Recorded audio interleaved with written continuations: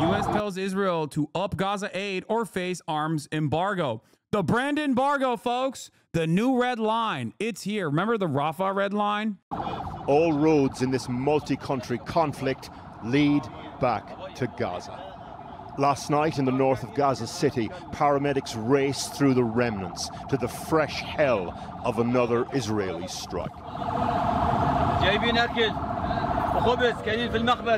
جايبين اكل وخبز كاينين في المخبز واقفين على الدور لهم نص ساعه ومروحين على دورهم يطعموا اولادهم They arrive at the scene.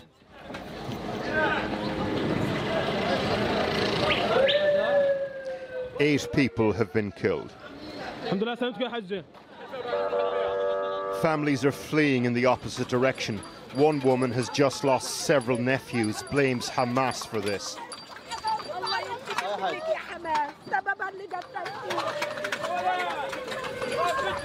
Another woman lost her son, blames Israel.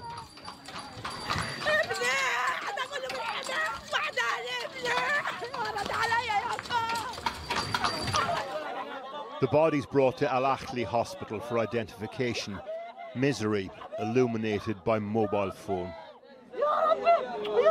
Sadly, I don't honestly, Kamala changing the narrative of the economy, Trump bad, stupid to Israel is a weaker issue for her, but one that has also plummeted in importance, care for the average person. Issue polling had Israel top three six months ago to 10 or lower now. That's not true. It's literally still the fifth most important, according to the NBC poll that we looked at yesterday. And it will get worse. A lot of the defense for liberalism, unironically, cuts your your your like future facing analysis short. I promise you, you do not think about how the public reacts. It's not going to be the same degree as like students getting fucking murked by cops on college campuses. They shut that shit down pretty quickly. However, you cannot you cannot reckon with the reality that American mainstream news providers are taking a markedly different tone in their conversations about Gaza and Israel's actions. What do you think that will do to Americans who read that shit? People got burned out. Even news did. CNN has a story halfway down the page. Fox and MSNBC doesn't even have a story on the front page.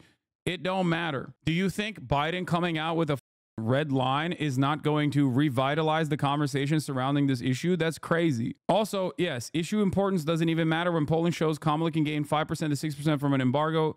Even if it's the 10 most important issue, it's clearly still moved the electorate right now. Every single day that Israel rains hellfire on another group of civilians that are in a tent city outside of a hospital, there are tens of thousands of more Americans who are clued in on this reality and dramatically change their analysis, dramatically change their opinion. This is like, while on the one hand, I agree with all these people, they said the same thing about uh, April being uh, about Israel protecting civilians, and May said Biden is the uh, is the red line. They know for months that Israel is deliberately blocking aid. The Biden admin has knowingly violated U.S. and international law all along. This is just an PR stunt. Yes, but what a lot of people don't rep, what a lot of people are not looking at, even on the pro-Palestinian side, is how people read the Rafah red line. Because Biden coming out and foolishly saying, I have a red line in Rafah, caused the media to cover it. And then Americans looked at it and were like, oh, finally, like Biden is actually doing some enforcement. And then no enforcement came. But more people paid attention to it. When the Democratic Party utilizes the bully pulpit in any direction that isn't simply, oh, we're working tirelessly around a ceasefire. When they move, when they move the needle in a in any direction whatsoever, more Americans are clued in on the actual reality on the ground.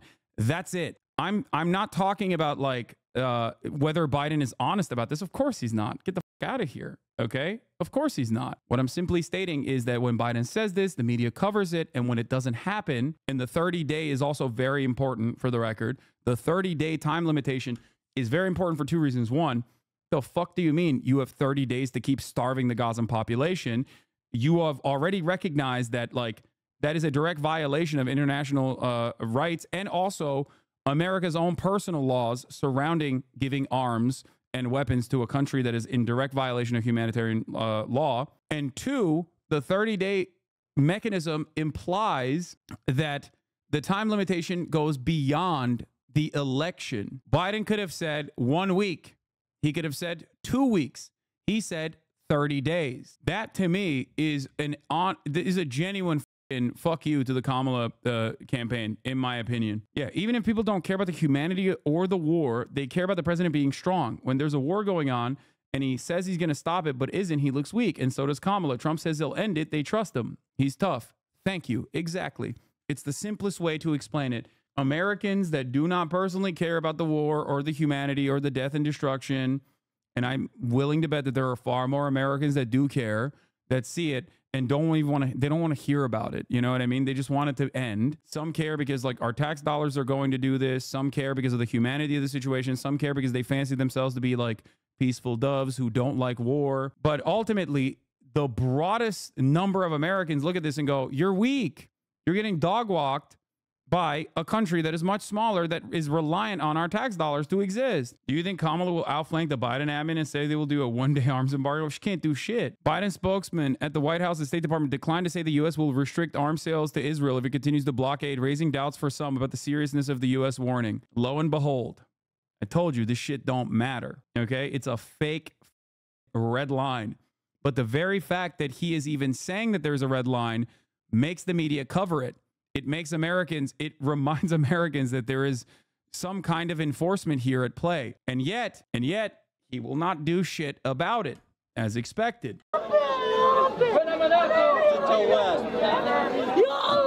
He addresses the crowd, asks, Why did my brother have to die? Am I dreaming? He is not.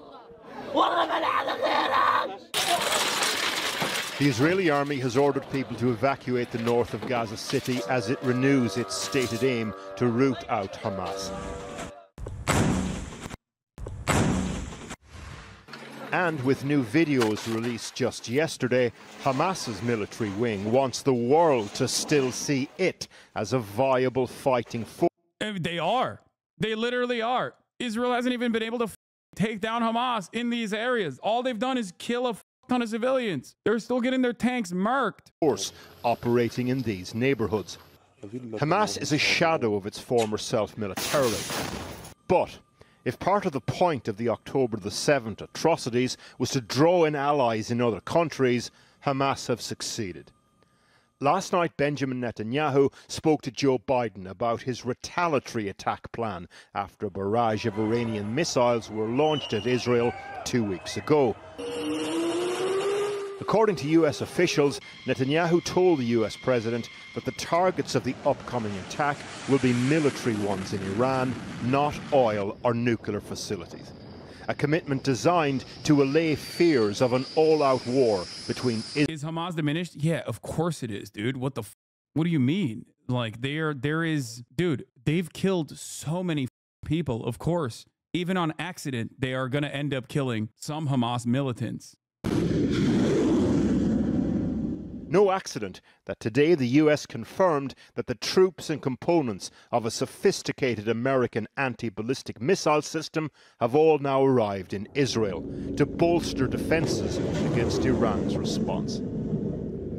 Calibrated retaliation is the buzzword. But back where it all began, in Gaza, this is what calibrated sounds like. From Gaza to Lebanon, where Israel continues to strike across the country as the IDF targets Hezbollah members who've moved beyond their traditional areas. Hezbollah's deputy leader addressed the nation today. They think you set him up to be banned by interviewing him, and how it's hypocritical that you didn't get you didn't get banned for taking part in that conversation. That's insane. No, nothing that Asmongold said in our conversation uh, is is related to his ban. I suspect that, and I didn't even know he was banned until I was live earlier this morning. But it was everything he said before I had a conversation with him. I was as cordial as I possibly could be in this circumstance. You can try to brigade it as well as you want, as much as you want, and I might even get banned, right? Which might actually uh, cave on this shit as they have done in the past. It's ironic that a conversation that I had about Islamophobia and the false notion that like every Arab and Arab adjacent or every Muslim person is automatically a terrorist being Islamophobia ends up with more Islamophobia. Very, very clear here. I want to be very, very, very clear here because people, people seem to misunderstand this. People don't get this. Destiny's joke borders pretty hard on Islamophobia. I am Islamophobic and I hate Islam. I'm an atheist. Yes. I will make Islamophobic jokes because I do hate Islam and I am Islamophobic. Like the counter to that is more Islamophobia. I apologize for my anger. Wait, that's it? You're completely delusional and you people will never win. Simple as. Okay. All right. Cool. Asmongold, in my opinion, in terms of being a massive content creator, is a larger content creator than me. So much so that his alt account is bigger than my main account. If the conversation is about like how much pull I have personally, no, I did not reach out to Twitch to get him banned or anything like that. Okay. Don't be fucking ridiculous. In terms of like his worth to Twitch, he has a higher worth to Twitch than I do in terms of the numbers. Vowing to continue the fighting, our international editor, Lindsay Hilsum, is in the capital, Beirut. Lindsay. Matt, the Lebanese Prime Minister Najib Mikati said today that he'd been talking to the Americans and they had assured him that Israel was going to lessen its attacks here in Lebanon. Well, there's no sign of that. There were multiple. This lady is awesome. Lebanon Hezbollah. Multiple strikes, particularly in the Bekaa Valley overnight. That's one of. I hate this fucking community. Y'all are intolerable. Joe Biden is like 80 years old. Just let him do a little more genocide, please. He's been a public servant his entire life. Why does it matter to you? You're right. Let Joe Biden get another crumb of genocide, man. Come on. It is up. You're absolutely correct on this. Just let him have it. He's having fun. He's having fun with it. He's enjoying it. Of Hezbollah's strongholds and in other places too.